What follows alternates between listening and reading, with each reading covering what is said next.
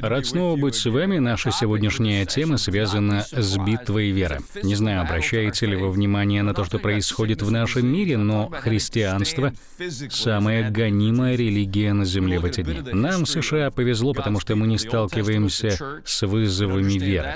Но я не думаю, что это далеко от нас. Это не что-то страшное, ведь Господь проведет нас в победе через все вызовы, с которыми мы столкнемся. Но нам нужна библейская перспектива. Мы должны думать о том, что ждет нас впереди, чтобы быть готовыми к этому. И именно об этом мы будем говорить сегодня. Доставайте свои Библии, блокноты, открывайте сердца и делайте заметки. Иисус сказал «блаженны плачущие». Это радикальное заявление. Вам нужно знать, что это не просто красивое поэтическое высказывание. Иисус желает открыть нам глаза на реальность, чтобы мы были готовы служить Царю в течение всей своей жизни. Сейчас я быстро и кратко расскажу вам историю еврейского народа, которая неразрывно связана со страданиями. До того, как Израиль стал самостоятельным государством, евреи были одной большой семьей. Их еще нельзя было назвать народом. В земле иудейской настал голод, и в результате печальных семейных обстоятельств Бог послал Иосифа в Египет. Я смягчил тот факт, что братья продали его в рабство. Думаю, если вы будете искать пример неблагополучной семьи, он перед вами. Пострадав от ненависти и жестокости, Иосиф был призван спасти всю свою семью. Он не поступил в семинарию, не продолжил обучение после нее и не путешествовал целый год по Европе. Его продали в рабство, а затем из-за своих моральных принципов он оказался в египетской тюрьме. К слову, после этого Бог сделал его премьер-министром. В книге «Исход» сказано, «И восстал в Египте новый царь, который не знал Иосифа. Он поработил еврейский народ. Сотни лет избранный Богом народ — в буквальном смысле был в рабстве. Пришло время Пасхи. Одна из самых важных составляющих празднования Пасхи — это пасхальный ужин в знак памяти о рабстве народа и его исходе. Даже сегодня в сердце каждого еврея есть память о прошлом, о рабстве и исходе, совершенном благодаря крови ягненка. Это не просто день памяти, если вы думаете, что мы празднуем Пасху ради новой одежды или шоколада, или это просто религиозный праздник, я призываю вас поразмышлять на этой неделе о личности Иисуса. Каким будет ваш личный ответ на то, что сделал ради вас Иисус? Вот в чем главный смысл Пасхи. Когда народ вышел из Египта и оказался в пустыне без пищи и воды, он не смог бы получить обещанную ему землю без сражения. Ее нужно было завоевать. Это очень раздражает либеральных ученых. Я учился вместе с ними и знаю, слово «завоевание» кажется им неуместным. Божий план был в том, чтобы мера беззакония наполнилась, и народ подвергся Божьему суду. Мысль о Божьем суде оскорбительно для светского мира. Но есть святой Бог, и каждый из нас даст ему отчет. И нам потребуется нечто большее, нежели ламинированная визитка церкви. Нам потребуется жизнь в подчинении его власти. Как только еврейский народ завоевал землю, на них регулярно стали нападать враги. Некоторых из них вы знаете, филистимляне с их великаном Голиафом, и Евусеи, ну и так далее. Затем народ решил, что им нужен царь. В стране появилась монархия, которая породила бесконечные разделения. Разразилась гражданская война, и страна разделилась на две части. Царь северной части Израиля постоянно допускал духовные промахи. Наконец, в 721 году до нашей эры Бог сказал, «Вы больше не можете жить в этой стране, Зло избранного мною народа так умножилось, что я предам вас в руки чужого народа. Пришли ассирийцы и захватили Израиль. Десять колен рассеялись, по Ассирийской империи население было выведено, и на земле Израиля поселился другой народ. Эти страдания стали результатом состояния сердец людей — Состояние вашего сердца отражает то, чем наполнена ваша жизнь. Или вы считаете, что Бог обязан вас благословить, независимо от того, с каким количеством зла вы миритесь? А вы думаете, что можете выбирать заповеди на свой вкус и продолжать требовать Божьего благословения? Откуда у нас такой подход? Нам кажется, что можно отложить в сторону Слово Божие, библейский взгляд на мир, на семью, на отношения полов, и как ни в чем не бывало, взывать к Творцу неба и земли — Память о страданиях живет в умах и сердцах народа, который по-прежнему живет на этой земле. Южная часть страны Иудея, ее столица.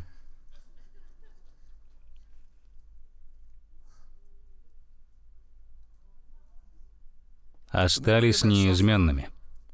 150 лет спустя, в 587 году до нашей эры, в Иерусалим пришла армия Вавилона – она разрушила храм.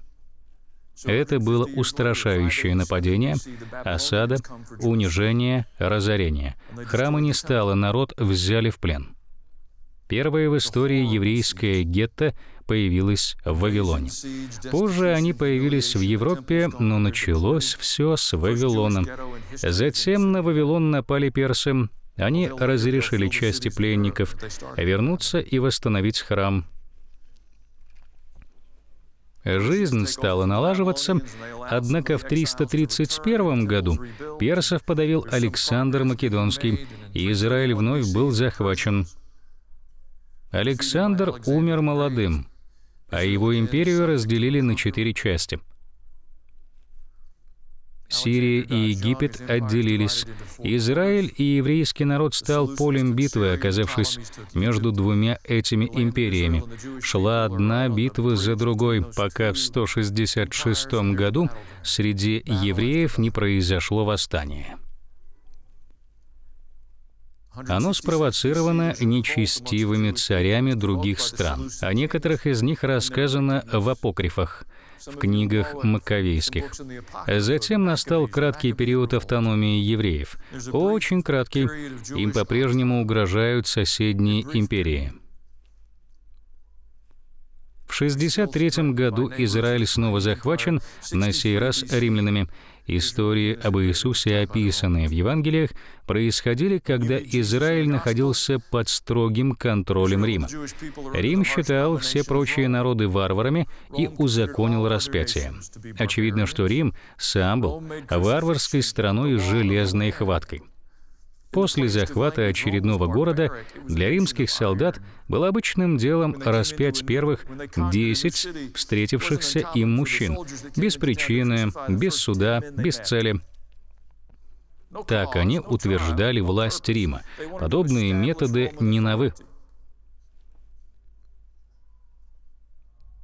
Рим пал только после того, как пролил реки крови. Еврейский народ на протяжении всей своей истории испытывал горе, боль и страдания. Иисус обращался именно к тем, кто нес в своей душе отпечаток боли отпечаток этих страданий. У этого молодого равина было для них послание «Блаженны плачущие». Он знает о нашей бедности, о наших страданиях, о том, как нас эксплуатировали, и говорит, что мы счастливы, потому что будем утешены. Это парадокс. Это, казалось бы, противоположные вещи. Очень важно понимать эти слова Иисуса о Его Царстве, а не о том, что вне времени. Наш Господь не говорил, что мы будем избавлены от боли и мук, но сказал, что в Его Царстве мы найдем утешение, которое сполна компенсирует все, что мы претерпели. Это больше, чем красивое поэтическое выражение или богословская теория. Люди, которые услышали это слово в тот день, жили им. Мы читаем об этом в деяниях. «Арестуйте нас, если нужно, но мы не будем молчать». Если нужно телесно наказать нас, наказывайте, но мы не остановимся. Вы можете убить кого-то из нас, но мы будем умножаться. Откуда это появилось? Благодаря словам Иисуса. Он показал людям путь.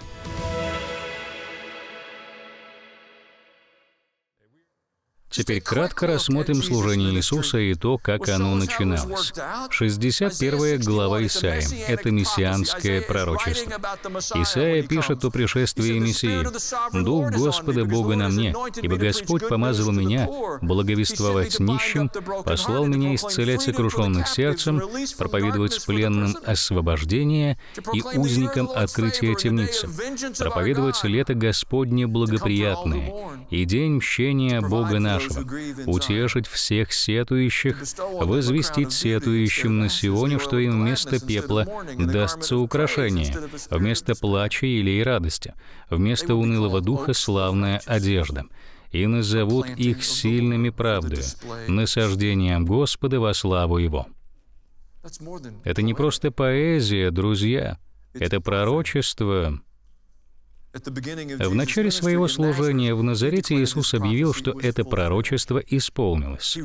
Он зачитал эти слова в синагоге своего родного города Назарета и сказал, «Сегодня эти слова исполнились».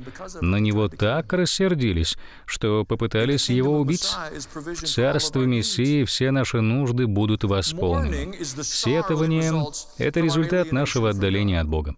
Правление Мессии подарит нам его утешение. Исаия говорит, утешайте, утешайте народ мой.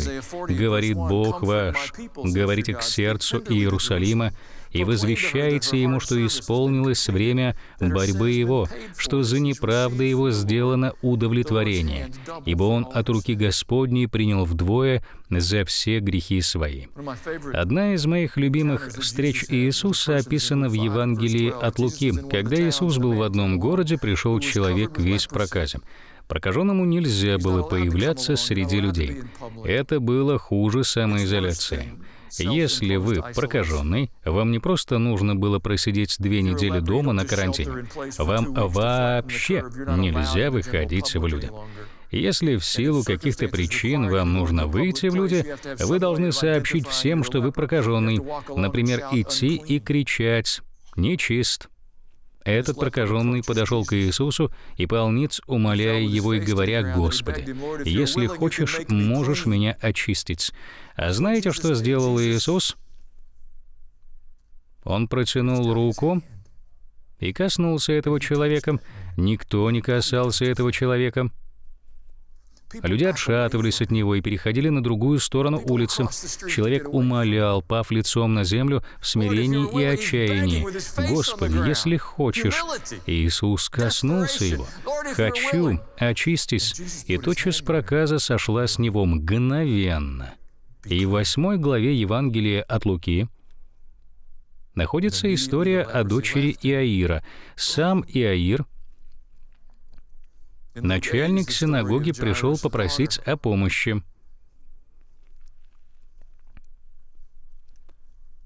Его дочь была безнадежно больна, и Иаир смиренно пришел за помощью. Он пришел просить того, кто не был популярен среди властимущих. Да, он был популярен в массах, но не среди властей. Яир пришел и попросил помочь. Иисус откликнулся, но не успели они дойти до дома, как им сообщили новость. Уже поздно. Девочка умерла. Иисус, услышав это, сказал ему, «Не бойся, только веруй, и спасена будет». Придя же в дом, не позволил войти никому, кроме Петра, Иоанна и Иакова. Почему Иисус спустил только Петра, Иоанна и Иакова? Они учились. Им понадобятся все эти уроки, абсолютно все. Все плакали и рыдали о ней. Но он сказал, не плачьте. Она не умерла, но спит, и смеялись над ним. Люди не понимали, что к ним пришел автор жизни. Друзья, я уверен, что все, выпавшие нам в этот период испытаний, призваны напомнить нам о том, что нам доверено. Суть не в том, чтобы вместе сидеть в здании и петь песни. Это ценно, но мы собираемся ради другого. Мы собираемся, чтобы познавать автора жизни, преображаться и знакомиться с силой царства, которая во много раз превосходит силы царств этого мира. Вам необходимо знать эту власть и силу, чтобы процветать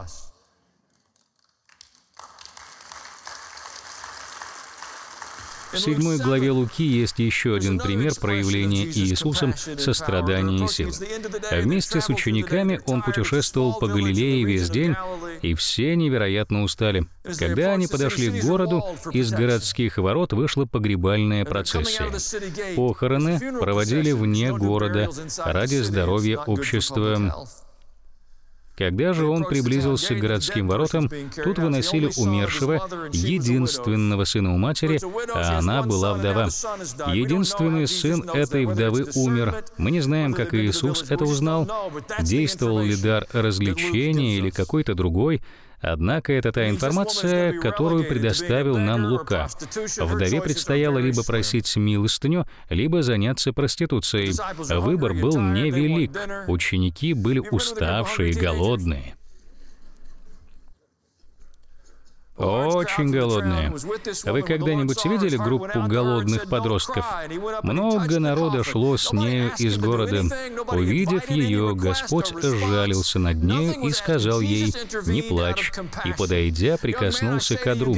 Никто ни о чем не просил Иисуса, никто не подходил к Нему с просьбой. Иисус вмешался из-за своего сострадания — «Юноша, тебе, говорю, встань». Мертвый, поднявшись, сел и стал говорить. Это все, что поведал нам Лука. Мне кажется, что вся процессия застыла в изумлении. Ужиная в тот день, ученикам явно было что обсудить. Лука пишет кратко «Юноша сел». Это чудо было совершено для женщины. Это сострадание было явлено ради матери. Блаженны плачущие.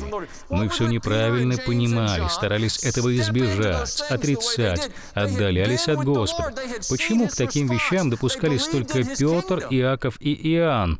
Они были с Господом и видели Его действия. Они верили в Его Царство. А в какое будущее верим с вами мы? В какое Царство верим мы? Подумайте над этим, у кого вы ищете справедливости.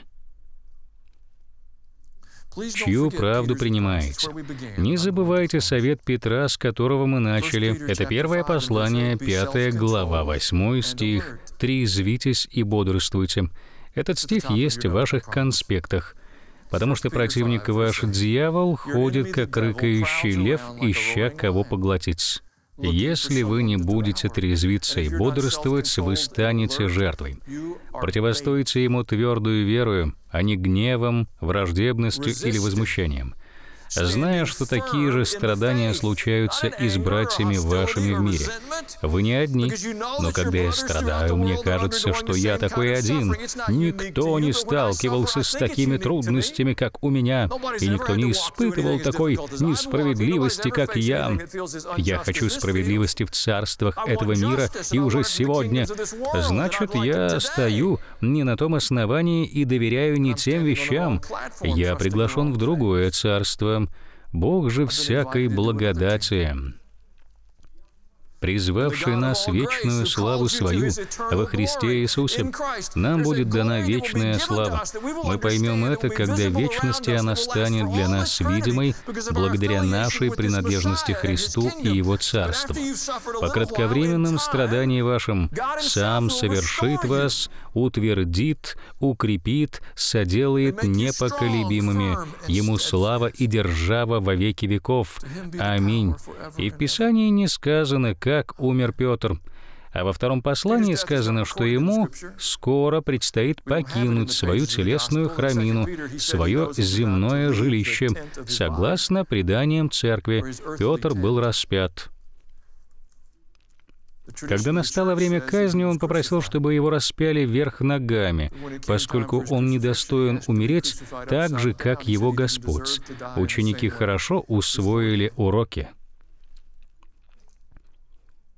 Они отвергали Господа, оставили его, когда ему требовалась помощь. У них не хватило смелости остаться с ним, так же, как и нам с вами. Мы отвергали Господа, стояли в стороне, когда совершалось зло и молчали. Мы могли бы вмешаться и не остаться незамеченными. Ученики были прощены, вновь приняты и получили задание. Судя по их посланиям, они намеревались идти до самого конца. Я не знаю всего, что ждет нас впереди, но весьма вероятно, что нас ждут новые вызовы, которые сделают вирус из Ухани мелочью. Нам понадобится наша вера, знание о царе и царстве, а также друзья. Для ободрения, укрепления и заботы. Мы жили в благословенное время — когда Бога добавляли в качестве захватывающего придатка. Но я считаю, что в том, во что мы входим, нам понадобится Иисус, Господь и Царь. Я не хочу пугать вас. Это не страшное время, а чудесное время возможностей. Самое опасное для церкви в историческом плане — это изобилие. Можно нейтрализовать церковь благословениями, но каждый раз когда начинались сезоны гонений и страданий, церковь расцветала. Советского Союза нет, а церковь в России осталась. Я подготовил для вас одну молитву.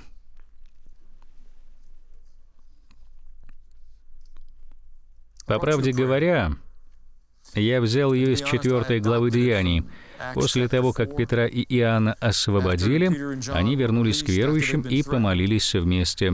Я взял эту молитву с парой мелких изменений, чтобы она соответствовала нашему контексту. После того, как они помолились, место, где они собрались, поколебалось. Я не говорю, что так будет и сегодня, хотя, учитывая дождь,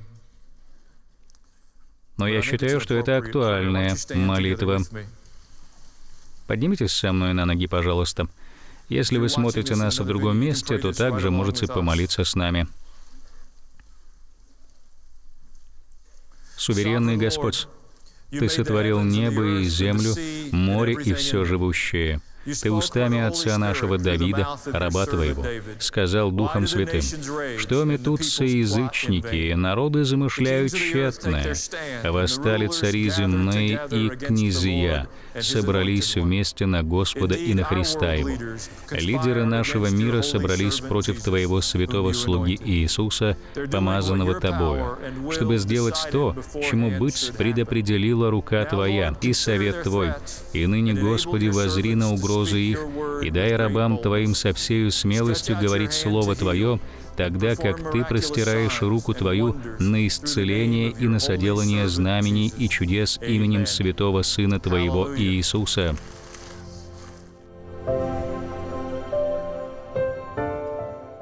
Смотрите каждую неделю нашу программу с пастором Аланом Джексоном, а также заходите на наш веб-сайт, где вы можете найти прекрасные ресурсы, которые помогут вам подняться на новый уровень вашей христианской жизни. Мы также просим вас подумать о том, чтобы поддержать нас в распространении этого послания по всему миру. Это будет возможно только с вашей помощью. Поэтому подумайте о том, чтобы стать нашим партнером. Спасибо, что вы с нами и что являетесь частью этого служения. До скорой встречи в нашей программе с пастором Алланом Джексоном.